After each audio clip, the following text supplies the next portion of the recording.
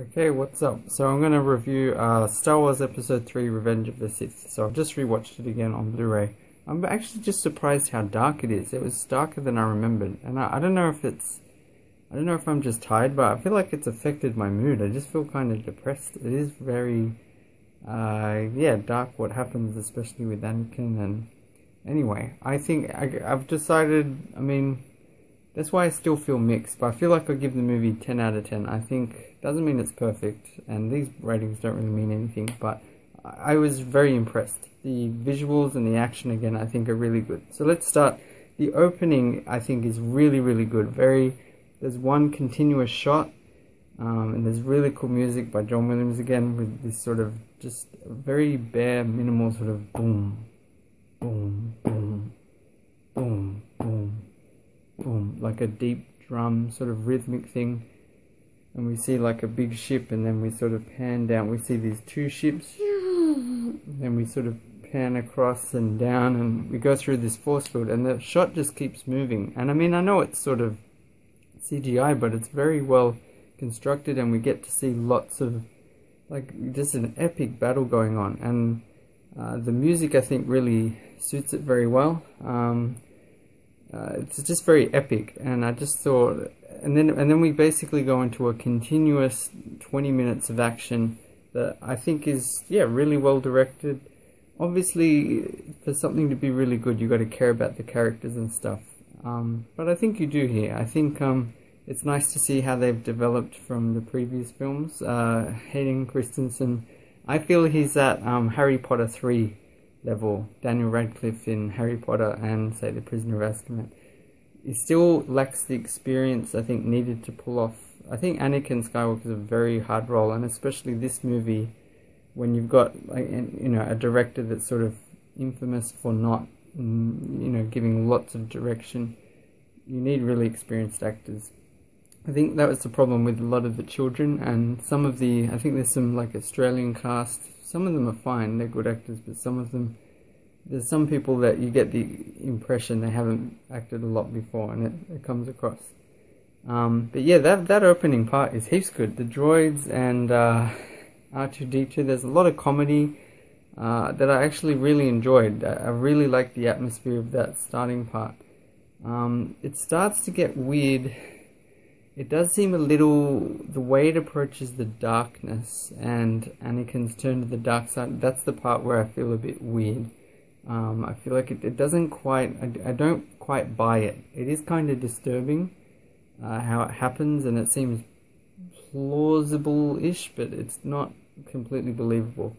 And I just feel like maybe it could have happened a different way. Here's I'll just go into what I think uh, should maybe have, would have worked better is the movie can start similarly, big action scene, um, but I think we should have really emphasized Anakin's intelligence and also his kindness, how nice he is and caring, like really passionate and caring, because that's the idea is that, and, and, and afraid of losing Padme, afraid of um, losing Obi-Wan and stuff, but in a good way, like a really caring person and also extremely powerful. I think we it should have emphasized how powerful he was, and therefore he's a not a threat, but the idea of the other Jedi, like even more powerful than Yoda, and then that's like a perhaps some of the Jedi Council are a bit wary of him. Um, anyway, I just think that could be emphasized more. And then Padme, I think I think it would have worked if she died either like say half an hour or 45 minutes into the movie and had the twins and maybe he didn't know he didn't find out for some reason about the kids maybe he knew she was pregnant but she thinks the kids are dead. He thinks the kids are dead. And then that's the impetus. That's the rather than his fear of her dying i think her dying itself should have been the thing that devastated him reminded him of his mother made him feel completely alone. And then it should be you know him feeling like that and then feeling frustrated and you know, and then the Jedi is saying, like, it would have been good if her death was somehow, uh, he felt like it was the Jedi's fault for some reason, like he was off on a mission and he couldn't save her, or they made a bad decision and she got betrayed, something, and then he fights with Obi-Wan and it ends up becoming a lightsaber battle, and then Obi-Wan can sort of say, "Look, I don't want to. We don't need to fight." And then he's given no choice. Anakin's just like angry in the moment, but not on the dark side yet. But then Obi Wan beats him and injures him, and then and then he can get turned into Darth Vader. This is just my idea. I won't take too long. I'll get back to the movie. And then his his Darth Vader outfit doesn't have to be the same as the one from the original trilogy. One thing that's really good with these prequels is that they have lots of spaceships and stuff that are reminiscent of things from the original trilogy, but not the same. You know, like uh, earlier versions, I guess, that prototypes. So like the, the big ships, the stormtroopers, um, and a lot of the other random ships and stuff. Uh. So yeah, I think I don't know if he needed to get burnt and all that. Like, but anyway, that's in the movie. Um, he gets turned into Darth Vader and has an outfit, and then at that point, I think he would be furious and sort of angry at the Jedi, and then he can go, and you can because he's already gone through pain and then had a sort of a misunderstanding that turned into a confrontation, and he lost control and then got beaten by Obi Wan, and then then you know, is saved, and then the Emperor can manipulate him as he does in the movie, and sort of console him, and he's the only person that seems to care, and then uh, he goes back and kills all the Jedi, and then it's more believable that he might kill children, which is, I mean, that's horrific. I think that's maybe what's shaken me up, like just the reality of that. That's re- I mean, it's honestly, I think there's not that many movies as dark as Star Wars Episode Three: Revenge of the Sith there are horror movies, but they're just stupid. It's just random people. Like you, they're meant to die.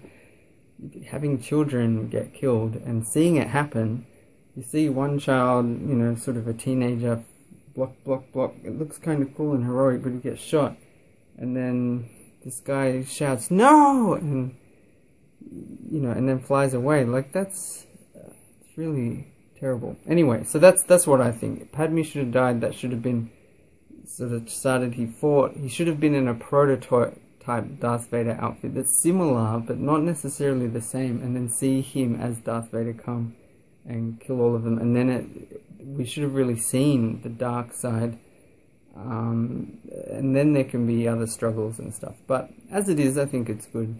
I have to say that's uh, a week. The last ten minutes I didn't like as much for this movie because it it sort of cutely sets everything up for the next for episode 4 and I think that's unnecessary like to do it to that degree you've got to just have a good movie and a good ending if you think of Star Wars going into Empire Strikes Back it's not like they say okay let's let's go to ice planet Hoth now and let's set up there and hopefully the Empire won't attack and at the end of episode 5 they don't say alright uh, let's go to Tatooine and um, I don't know if they send R2D2 and C3PO I guess they do um, and I'll go and save him, and then you come and you say you're a Jedi. You know, they don't like we don't directly link each one, so you don't need. That's what I didn't like with him becoming Darth Vader. He says a couple of lines, and then including the no. I actually thought that moment. I, I don't completely like it, but I think it's sincere, you know, um, and it's important for a director or for filmmakers, screenwriters, whatever, to make the story the way that they want to, that makes sense for the characters and whatnot. And I think those lines are kind of weird, but I think they knew, you know, Darth Vader saying, Where's Padme? Um, is she safe? I saw her alive. How can this? It's impossible. But I feel like that fits with the character. It sort of makes sense. I just, but there's just elements of that um, transition that I don't think completely work. They're not completely convincing. Um, so yeah, I was just saying, seeing Darth Vader, I, I think was pointless. You, you want to see him do stuff. So seeing him dressed up, like, I'm in my Darth Vader outfit, look at me, aren't I cute? Look, I got the black and the, I just didn't see the point. I'd prefer if they left it out and just let it be a, you know, we know what happens later on. It's unnecessary. Um, and it just seems funny that he's wearing the exact same suit for all those years, and I guess he must wash it. Um, that's why I think a prototype would have made more sense. Um, and and it's also funny. There's like a guy that looks, I guess, like Moff Tarkin, or the guy that plays that. You sort of see. It's kind of nice, but I just thought it was a bit silly. They just sort of seemed to imitate all the things, and they had Tatooine. But that that did I did find that kind of moving when they got Luke, um, and they're both they're sort of looking out at the suns. But I just think it's a bit unnecessary. It's not as good as if Episode Three had a big ending and just sort of ended abruptly when it needed to end, rather than sort of having these cute tie tie-ins. All right, let's move on. Um, yeah, I think the uh, the special effects are really good. The, I really like the dinosaur thing, the like feathery animal that uh, Obi Wan's riding, and General Grievous is very cool. I think I don't know if it's written here, but I think Gary Oldman does the voice of um, uh, General Grievous. I have to look it up. Anyway, he's like one of my favorite actors, and I really like. I do like General Grievous. I find him funny. He's an effective villain for what he needs to be, and it's hilarious that he has a cough. uh, there's a part where he sort of laughs. um, um, but yeah, I guess he's got these sort of weird internal organs, so that's why it's as if he's come from a, a real person or he's partially organic. Um, but yeah, it's hilarious that he can be sick. And I thought the stuff with him, you get the impression he's sort of been trained by Dooku, but not properly. He's not like a Sith. He's just picked up some lightsaber things. So it's just kind of cool. He's got the four, and then he's and naturally Obi Wan eventually partially disarms him. But I think the action scenes work really well, and the locations I just think are amazing in this movie. That the really sad bit when you know execute order 66. I mean, that affected me as well. There's a few parts where I was fine with crying. I have a lot of control, so it's up to me if I want to let myself let that single tear go down or not. But it it affected me. The um and the music's really nice. The da da na na na na na na da na na na na na na na na na da da da da. It's it's hard to um sing. There's a lot of sort of uh, slightly atonal music and very um, tense music in this movie. A lot of chords that aren't quite, you know, there's a lot of tension in it. And um, I think this is the most exotic score by John Williams for the Star Wars uh, movies, all six, well, not including the really crappy one, um, The Force Awakens. Um, yeah, it's got some sort of weird bits. I guess, like, the immolation scene is really, really uh, messed up. The How does the music go for that? I don't know. There's some weird organ stuff.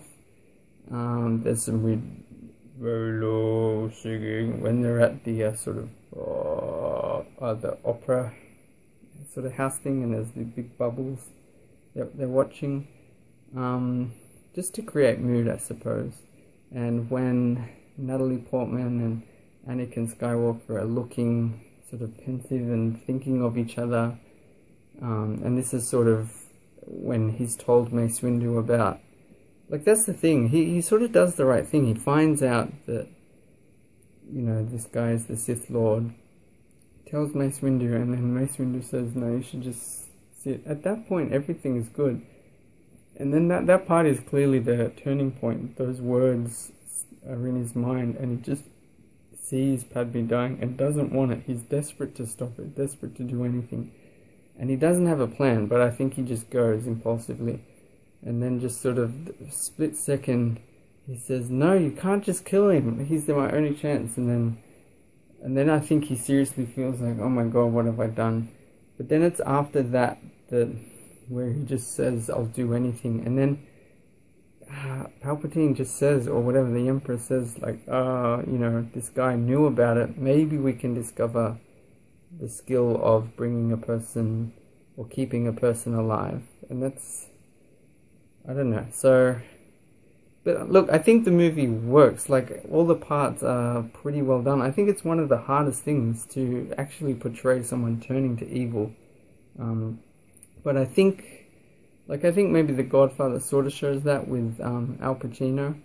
Uh, but um, I, I like the idea of the Dark Knight. What happens with Harvey Dent? I, that's what I think should have happened at the start of the movie. He's just a really good, caring person, and then just Padme just dies, and it feels like it's other people's faults, and like why did they? She could have been alive, and it's your fault. And then he fights, and then he he gets injured, and then he becomes Darth Vader, and then he just goes berserk and kills everyone. Um, um, but yeah, that music when Anakin's thinking and you can see Padme, that it's like weird music, like sort of Arabic or Middle Eastern, like ah, yeah, ah, I don't know, I have no idea. Um, like it's just sort of interesting that John Williams is doing new things, and I think the film is actually very uh, like it's sort of artistic in that way. It's not just doing what you want to see, the easy. It's not taking the easy road. It's really dwelling on these themes, and it's it's very dark. It's very um. It reminds me of Macbeth a bit as well, although I don't like Macbeth, and that's partially what I don't like about this either. The logic, like as in because he, he sort of causes the death of Padme when he because he sort of force chokes her, and then at the end they sort of said she's lost the will to live and I'm pretty sure that can happen, like with, like sort of what happened with his mother, Shmi Skywalker. Um, you know, people that are dying, sometimes they can hold on for a bit longer and then they can sort of let go. Or I just, I don't know. My mum has more experience with that, with being a nurse and and stuff. But I think there's truth to that. When someone loses the will to live, sometimes it's just you know they die when they might have lived otherwise. Um, and she was choked, so that, but yeah, the way he sort of causes the problem because of his anticipation of it. Macbeth is told these things by witches, and then he, sort of does actions to make it happen. Um, I, now, something I really like in the movie, I think Ian McDiarmid is really good as the Emperor. And I haven't really mentioned him. Like, he's a, a very good actor. And I think I've also got to give a shout out to Frank Oz. He's voice work I think is very very good for Yoda, very consistent and Yoda has a much bigger role. In fact, Yoda and the Emperor, we both we get to see both of them really in action a lot more than we've ever seen them before, and I think that's really cool and exciting. Like that's a, um, yeah, I just think that's interesting, and I mean it's totally different from the original trilogy. Yoda doesn't have to use a lightsaber to be cool, but it is nice to see that, and I think they did it with dignity, and they they tried to do it the best way they could in a way that makes a lot of sense. Um, it would have been, I don't think it's an easy task, and I think they did a very good job. Um, but yeah, Ian McDiarmid does some weird, like faces when he's yeah, fighting Mace Windu and stuff. And I just some of the I really liked his lines that he says to um, uh, Anakin. Uh, the story about Darth Plagueis I really liked and uh, his voice sometimes going a bit deeper. But I think it's believable that, like, some people would critique, like, it's obvious that he's Palpatine, the Emperor. But you got to realize the good guys never see the Emperor. We only see Palpatine, and we're aware there might be some kind of Sith Lord or something in the background. But I don't think the good guys ever see him.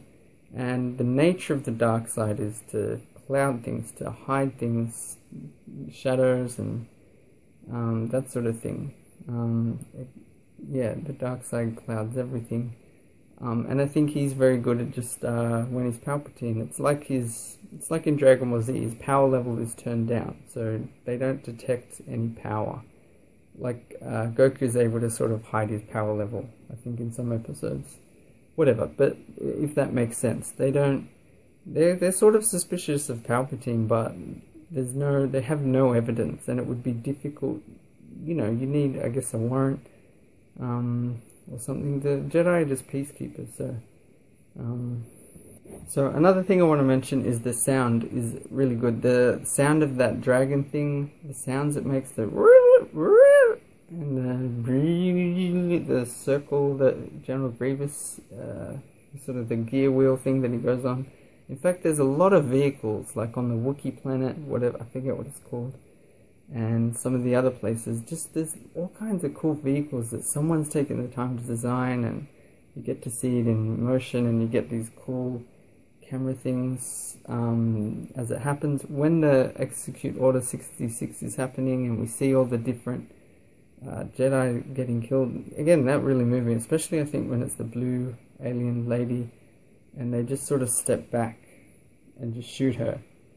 It's horrific. Most of the Jedi, they sort of just realize they're like in shock or frozen for a second and then they defend themselves. Each of them, they last like a few seconds and then they're dead. It's just, yeah, it's crazy. The betrayal and the fact that it, it seems clear that Palpatine planned this all way in advance. It was a huge uh, plan. That I, I don't know who Sifo-Dyas is. I need to look that up. Um, or if that was, maybe it was done in Sifo-Dyas' name, but not actually done by him. Um, anyway.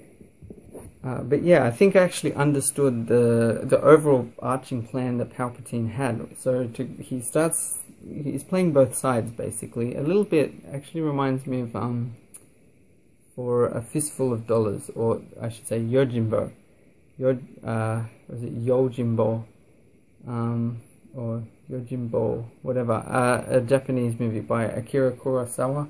This samurai sort of plays. There's a town and there's two sides, and he sort of says, oh, how much will you pay me to help? And then they said, they're sort of getting them to bid against each other, which side, trying to gain from it. Anyway, it's just like a classic movie. Um, it just, yeah, it feels like he's sort of using both sides against each other. So he has the Trade Federation uh, sort of occupying Naboo over some silly dispute. And then, you know, Naboo needs more help and Amidala wants more help and then he sort of says, well, you know, there's all this bureaucracy. If only there was a way. And then they, um, you know, they end up revoting to get a new senator, and then he becomes the senator. Um, I actually think it was a pretty well planned out thing. Like, and it's an interesting way to really learn how he became the emperor. I can see Rick was being very different, but this is, I think it's kind of cool to get a real insight into how he did it. So he let me try and understand this, explain it properly. Um, so yeah, oh yeah, so they sort of vote, oh this chancellor's no good because he's not taking action, and then they end up, he gets sort of a sympathy vote, he ends up being the chancellor, and he says, I will take action, and then um, I guess into the sequel, there's sort of, there are people that side with the Trade Federation and think, I don't know, it's unfair, or they're just following the law, and Palpatine sort of supporting them, or the Emperor supporting them, um, and they're making a Death Star, or there's plans for that. And then separate from that, as the Chancellor is saying, oh, you know, uh, at some stage you must have gotten the clone army, and he's, the Jedi are worried about um, the Separatists, and there's this big thing going on, and so, yeah, it's like he's creating an uprising and then saying, we need to stop it, so we need a big army. Um, a bit like I've I've heard theories that like say 9/11 was an inside job. I don't, I don't. I'd say that's probably not the case, but it's not impossible for certain. There may be certain sort of terrorist attacks or things that happen where it's the government itself can actually cause it as a reason to then go to war. I know Japan had sort of a dodgy reason during World War II or before in the early 30s to fight somewhere in China or Manchuria over a bridge or something. I must sound like a complete idiot. But like it's it's where like a little skirmish gets sort of made into a big thing and then becomes the reason. So he uses these separatists which he created or is supporting to then um, justify using this huge clone army and getting the Jedi to go on a war um, and then I guess at the right time, he gets his new Anakin, who, and, and when he tells the story about Darth Plagueis, I, I really liked that bit. It made perfect sense. Obviously, or it seems implied, Darth Plagueis was his uh, master, who he learnt from. And um, it makes sense that Anakin would be suspicious, but he hasn't revealed himself yet, because for all Anakin knows, he's just um, interested in the Force and he's read on, up on it and he's learnt about dark Sith Lords from the past or he, he was interested in it. But it's implied Darth Plagueis was his master and that he killed him and um, what was I trying to say? yeah, he mentioned the potential to keep someone alive, uh, save someone, but also the potential to like impregnate someone or whatever out of nowhere. And it's implied that this prophecy, which I mean, that's the thing. I don't know why you would ever believe in a prophecy. Like you can't justify it. It's but it's so common. It's always the one, like in the Matrix, Harry Potter. There's a prophecy. I feel like a lot of fiction. Um, uh, but yeah, I, th- I think it's sort of unhealthy, this idea of the one that will bring balance to the force. Um, but it, what seems actually happened was that uh, em- the Emperor made Shmi have a baby, he, his next apprentice that he wanted to teach. I guess just as a pawn. He's trying to just be in charge and be in charge forever. Um, I'm not clear on when he gets zapped like Mace Windu uses the lightsaber to reflect his electricity. I don't, I'm not sure if that's revealing how old he is or if he got hurt. I think it's revealing how old he really is. Somehow some facade has gone away. Or, yeah, and maybe he's allowing himself to look old. To say, Mace Windu did this to me, they attacked me. Um, you know, and use that as further justification for total control. And then once the Jedi are wiped out, like Natalie Portman has a line about, so this is how uh, liberty is destroyed or something. Democracy turns into dictatorship, you know, to a rousing applause. Um, something like that. Um, but yeah, so he must have created Anakin for his own purposes. And the whole thing, I think, with Anakin's transition makes more sense with that that Anakin is this powerful, really nice little boy in the middle of nowhere, um, and he has fears and apprehensions and skills, and maybe there is somehow a bit of darkness in him, built in, if he was created by Darth Sidious. Um, but then, yeah, it's more convincing if Darth Sidious is just this, is messing up, messing around with Anakin, uh, that makes his transition more convincing. Not only is he a bit unstable and his mother's died, and then he's worried about his wife dying, so he's got the fear. Um, and there is tension with the Jedi Council. They can sense something's going on, and they also don't completely trust Anakin. They don't trust the, the Chancellor, but the Chancellor's really friendly with Anakin. And then the Chancellor's super manipulative. That stuff just he's just feeding him. That stuff I thought worked really well. Again, I think Ian McDiarmid is uh, really good in that role. Um, they keep sort of saying, they asked you to spy on me, didn't they? And he's like, uh, I don't know what to say. And they're like, it's it's all right, you know. Um, and then saying the dark side is the way to save Padme. It just kind of keeps repeating it because it's like he knows that will work. And there's a few interesting lines where um, Anakin says like I can't live without Padme, and it's it's kind of convincing. I think a lot of people can relate to that, where you feel like your life would be empty without a, a certain person, and I think that's that's a I think what Yoda says about you don't want to be. It's almost like a Buddhist thing, or maybe like a monk, or maybe some other religions that are similar. Or I think of a samurai. Samurai code. It's like you accept you are dead. You're going to die one day or something. I don't know if that's anyway, but I think it's important to accept no people are to die. You can't rely on anyone for your uh, drive, your passion in life, your happiness, and your purpose. But anyway, I guess that's the reality is a lot of people really do feel strongly about someone.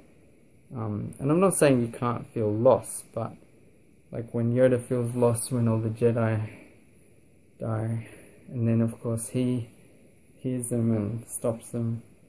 Anyway, look, I just I think it's a really good movie. There's lots of uh, little references to other things. Uh, Yoda's ship is a lot like ET's, and it's cool that Chewbacca's in the movie.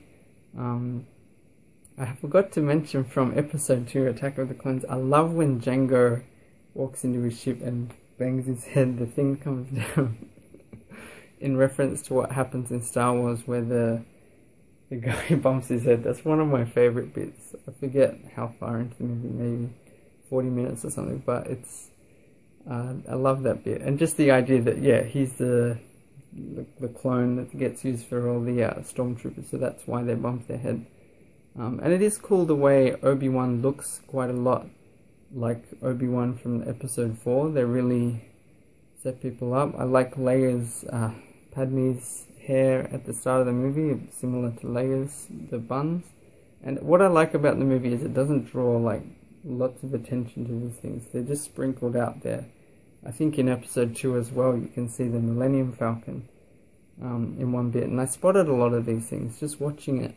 So I think um, that's uh, again, I'm kind of just uh, crapping on the Force Awakens. They're just still trying to make fun of how bad it is, but that's the way I think it should be done. I think the prequels did that sort of thing really good, having their own story, lots of crazy new things happening, and nice references to the original trilogy without it being distracting. Um, another weakness I did think there was is there's a lot of uh, talking, a lot of um, like people have said, standing and talking, walking and talking. But I think I forgot to mention this in, in the Attack of the Clones one. But I don't get it. Like if you look at a lot of movies, The Godfather, there's a lot of standing and talking, like sitting and talking. You know what I mean? Uh, a lot of classic movies. So it's a bit confusing. It's like people want action and excitement, and they also want story, but then they. Like, I can get it. You want things happening, and people say lines as stuff develops, and you don't want too much of a pattern. I, I do sort of feel parts of uh, Revenge of the Sith were a bit like a soap opera, where you've got characters talking to each other and then looking away. And, you know, facing or saying something and looking away. And then they're like, there's one person facing this way and there's one person behind them talking to them. Uh, you know, like uh, the days of their life, of our, li- of our lives or something. Okay, I'm back. Don't worry, I just had to go on the phone. That's weird. It felt like eight minutes to me, but it feels like nothing for you. Um, okay, so John Williams is an awesome composer. Right? I know I keep mentioning him, but something I wanted to say is as a like a director has to work with all these different people, and I get the impression George Lucas, uh, you know, was very like had a good relationship with John Williams. That's the impression I get. I mean, John Williams did all of the Star Wars movies and kept coming back. I'm pretty sure he said this early, the original trilogy were among his favorite movies um, to do scores for because he really liked the movies. So, and I think that that makes for much better music if you really care about it. I think um, Bernard Herrmann once said something like, "You can sort of, uh, mm, you can make an okay, you can sort of sprinkle stuff on the movie and make it nicer, but you can't actually make a good movie out of nothing." Like, um, but anyway, I, I get the impression George Lucas really respects John Williams and knows how to use uh, the music effectively. And again, I really like the cinematography, the way uh, things are set out. The the big problem is um, still a bit too much talking. There's a lot of awkwardness. There was a part where um, you know Obi Wan says how he saw Anakin kill younglings and puts his hand up, and it, it just felt a bit awkward, bit weird. And again, Natalie Portman, I don't like her as much when she's just sort of standing there and then sort of crying and stuff. I don't think she's bad, but it's just um, there's something about it, and it hinges on Anakin. And I just think you need a mature, a really experienced actor. And Hayden Christensen, I think, does an okay job, but not not brilliant. And yeah, I don't know. I actually, I just, I find the movie a bit dark. It's such a downer, but I did find it moving, and there is hope. Obviously, it sort of implies, you know, it's going, the story's heading towards Star Wars, and then what happens in those ones, which I'm keen to watch. So, um, but yeah, the action is brilliant. I really enjoyed it. R2D2 is very funny, and um, the the way it plays out I don't know, and the story, yeah, right from the start to the end, I found it very engaging. That's why I feel I should give it just 10 out of 10, because it's a satisfying movie that lives up to, I think, the standard of Star Wars. I think it was the only prequel that people sort of uh, had the guts to sort of say it's as good as the original trilogy, and people didn't bite their heads off for saying that. Uh, people seem to give it reasonable amount of respect and yeah, so I think it deserves it. So anyway, uh, I'll leave it there rather than going forever. So okay, bye.